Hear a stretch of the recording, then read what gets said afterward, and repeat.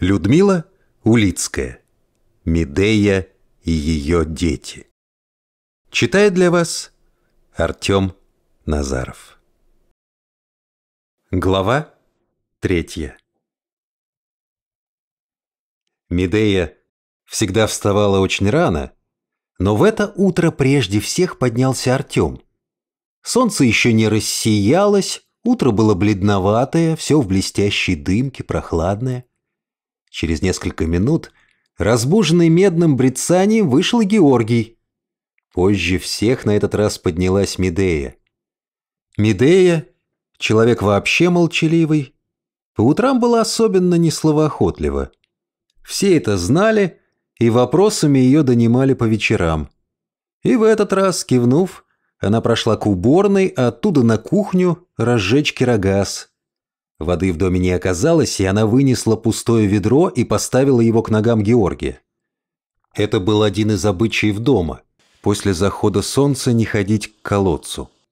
Из уважения к Медее и этот, и другие необъяснимые законы всеми жильцами строго соблюдались. Впрочем, чем закон необъяснимей, тем и убедительней.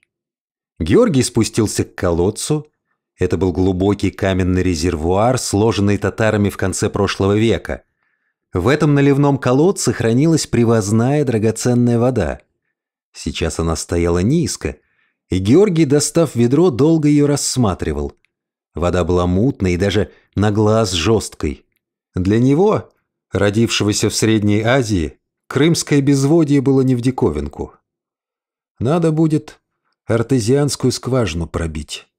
Подумал он уже во второй раз со вчерашнего дня, поднимаясь к дому по неудобной лестнице тропки, как будто приноровленной к шагу женщины, несущей на голове кувшин. Медея поставила чайник и, метя подолом выцветшей черной юбки по глинобитному полу кухни, вышла.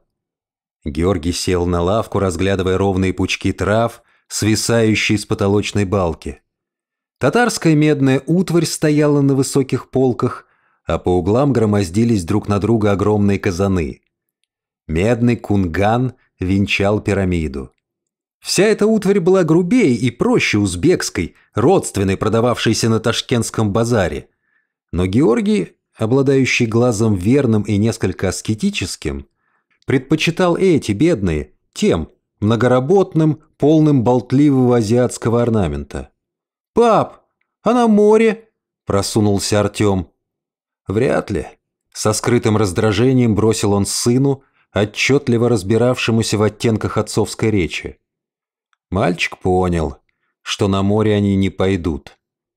По склонности характера ему бы поконючить, поныть, но по тонкости души, уловившей благодать утренней тишины, он смолчал.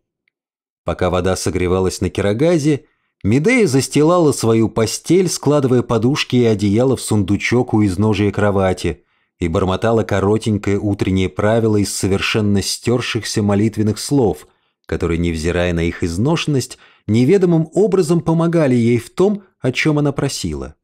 Принять новый день с его трудами, огорчениями, чужими пустыми разговорами и вечерней усталостью, дожить до вечера радостно, ни на кого не гневаясь и не обижаясь. Она с детства знала за собой это неприятное качество – обидчивость. И так давно с ней борясь, не заметила, что уже многие годы ни на кого не обижается. Только одна давняя, многолетняя обида сидела в ней глухой тенью. «Неужели в могилу унесу?» – мимолетно подумала она.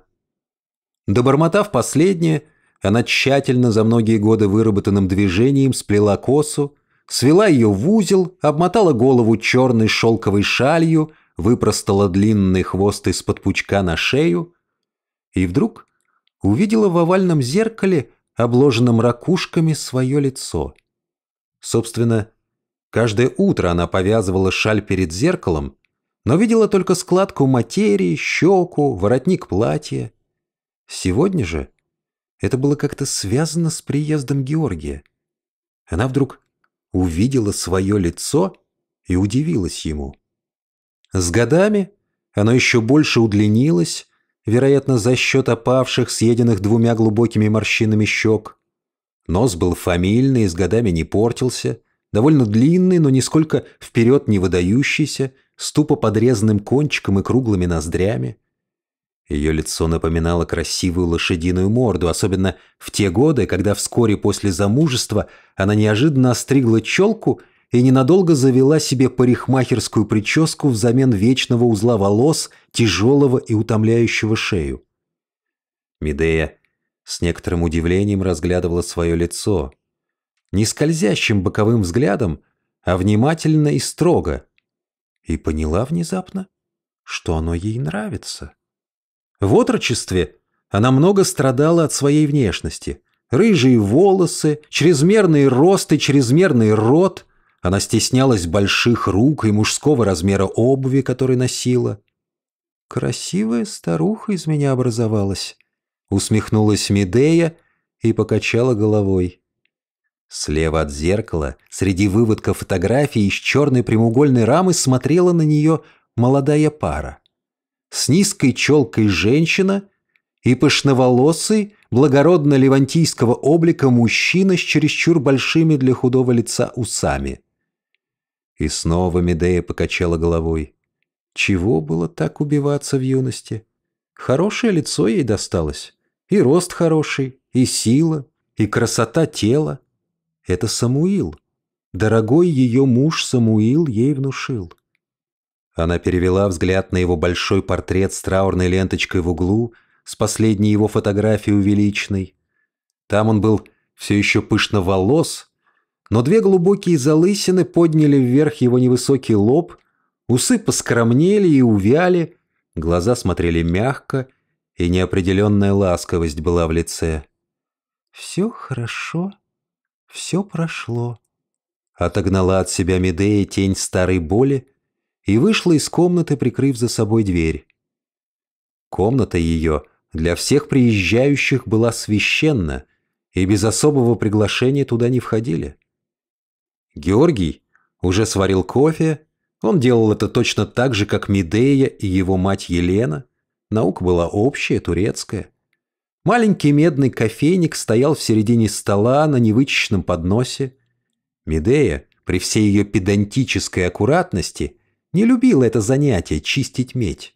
Может быть от того, что в патине она ей больше нравилась.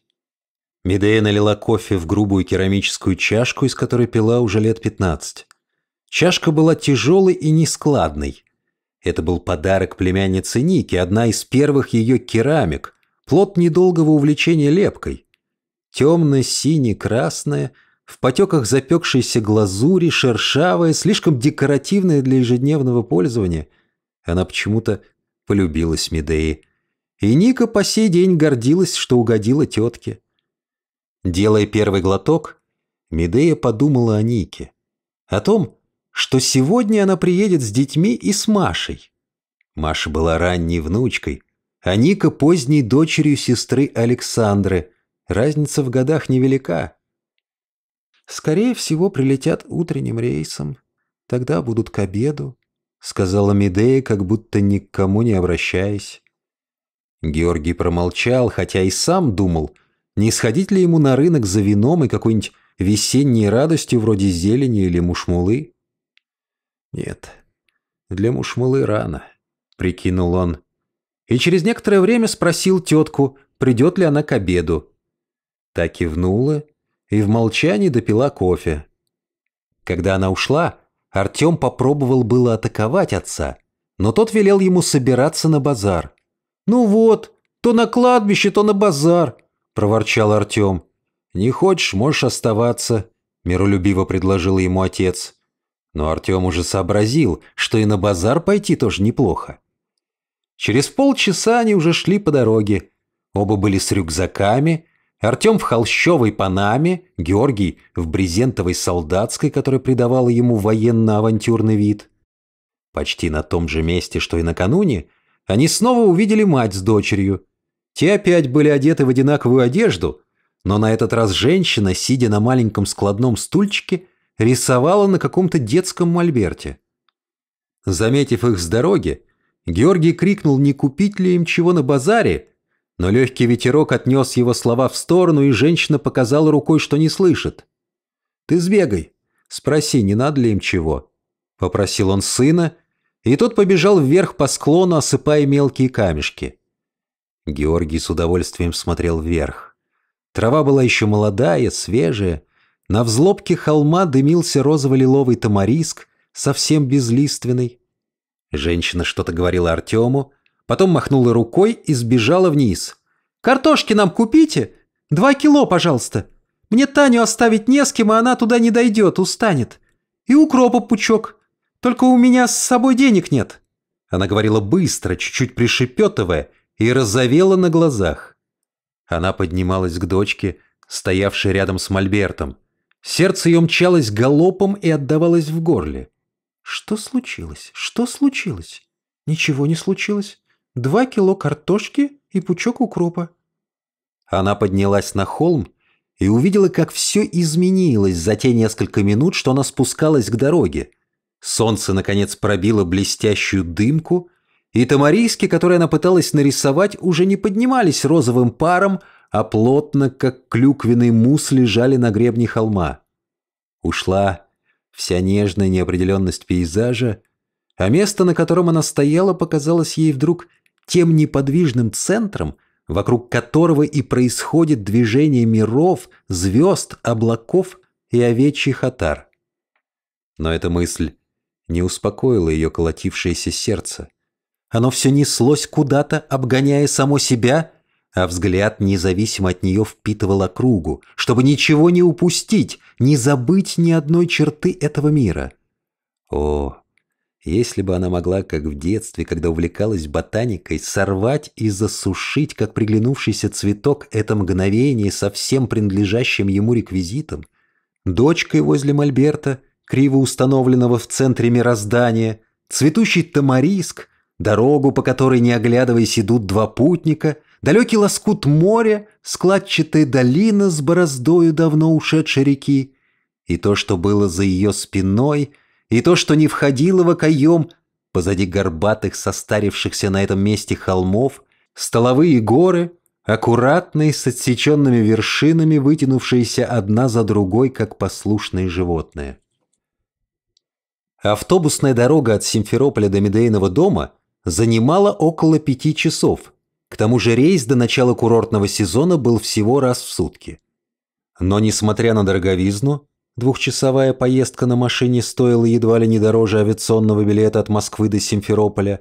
Ника и Маша приезжали обычно на такси.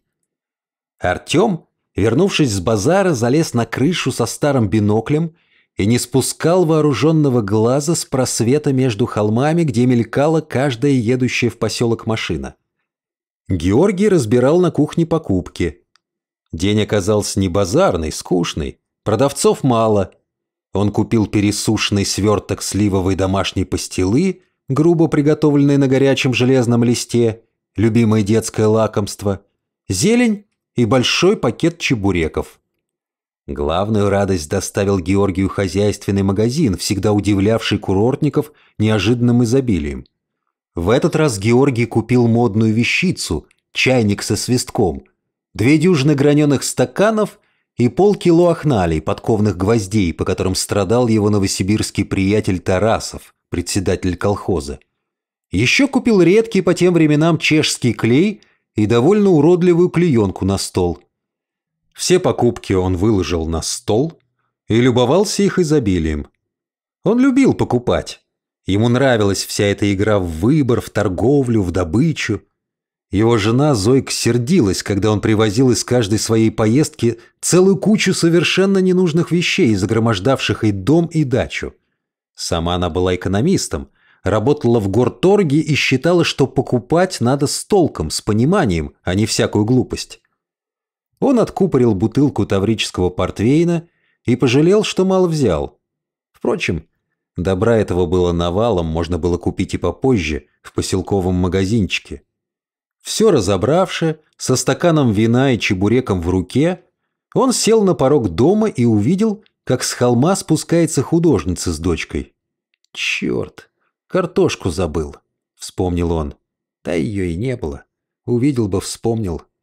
Но укропа он купил много, и потому, как человек обязательный, крикнул Артему, чтобы тот спустился с крыши и отнес бы курортнице укроп. Себя обитатели Медеиного дома курортниками никогда не считали, да и местные относились к ним как к своим. Артем нести укроп на отрез отказался. Слишком важной была минута появления машины, и он боялся ее пропустить. И действительно, они еще не кончили припираться из-за укропа, как мелькнула в специально предназначенном для этого просвете желтая «Волга». «Едут!» – заорал сорвавшимся от счастья голосом Артем, кубарем скатился с крыши и понесся к калитке. А еще через несколько минут машина подкатила к дому, остановилась, одновременно раскрылись все четыре дверцы и выпрыгнуло сразу шесть человек, причем двое совсем маленькие. Пока таксист доставал из багажника чемоданы и картонки – Началась родственная свалка с поцелуями и объятиями. Машина еще не успела отъехать, как незаметно подошла Медея с брюхатой сумкой, улыбаясь плотно закрытым ртом и сузив глаза. «Тетя, солнышко мое, как я соскучилась! Какая ты красавица! И пахнешь шалфеем!» Целовала ее высокая рыжая Ника, а она слегка отбивалась и ворчала. «Глупости! Я пропахла масляной краской!» У нас в больничке третий месяц ремонт. Никак не могут закончить». Тринадцатилетняя Катя, старшая Никина дочь, стояла рядом с Медеей и ждала очереди на целование.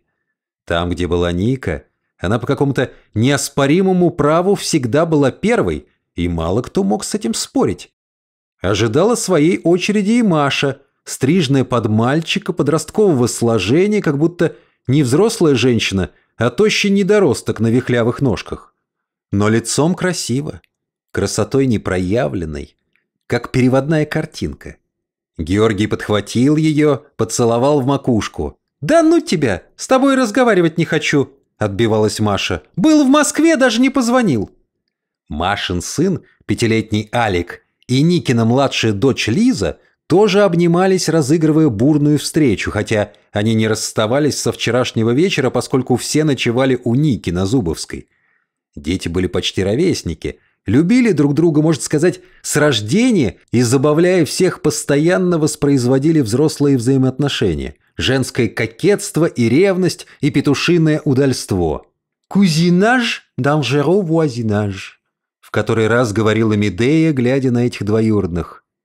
«Я тебя поцелую, как будто мы уже приехали!» Тянул к себе Алик Лизочку, она упиралась и все никак не могла придумать условия, при котором она на это согласится, и потому тянула. «Нет, ты сначала... сначала ты... собачку мне покажи!» Двое из присутствующих обменялись сухими кивками, Артем и Катя. Когда-то они, как теперь Лиза с Аликом, тоже страстно любили друг друга, но пару лет назад все разладилось. Катя сильно выросла, обросла кое-где волосами, которые тут же и начала сбривать, и обзавелась хоть и маленькой, но вполне настоящей грудью. И между ними пролегла пропасть полового созревания. Артем, в душе глубоко обиженный прошлогодней отставкой, совершенно им незаслуженный, хотя и ждал Катю до изнеможения, из самозащиты отвернулся и задумчиво ковырял носком бледно-коричневую землю. Отчисленная в прошлом году из балетного училища Большого театра за полную неперспективность Катя сохранила все повадки профессиональной балерины, над которыми, втайне гордясь ее чудесной осанкой, постоянно посмеивалась Ника. Подбородок вверх, плечи вниз, грудь вперед, живот назад, а носочки в разные стороны. В этой самой позиции и застыла Катя, давая всем желающим насладиться красотой балетного искусства, которое она все еще продолжала представлять. «Медея, ты посмотри на наших молодых!» Тронула Маша Медею за плечо. Алик достал из конуры Медейной суки Нюкты, длиннющей коротконогой, такого же длинного щенка. Лиза уже держала его на руках, и Алик, отодвигая щенка, добирался до Лизиной обещанной щеки. Все засмеялись. Георгий подхватил два чемодана, Артем, отворачиваясь от Кати, взял картонную коробку с продуктами, а Катя, слегка подпрыгивая на бегу, как премьерша на поклон, сбежала вниз и встала на освещенный пятачок между домом и кухней и стояла там прекрасная и недостижимая, как принцесса, и Артем принимал это с неиспытанной прежде сердечной болью. Он был первым, кого уязвила эта ранняя весна. А Норе опять досталась роль соглядатая. Танечка уже спала после обеда. Ни картошки, ни укропа не принес ей этот красивый человек, похожий. Теперь она, наконец, додумалась. Вовсе не на римского легионера, а на Одиссея.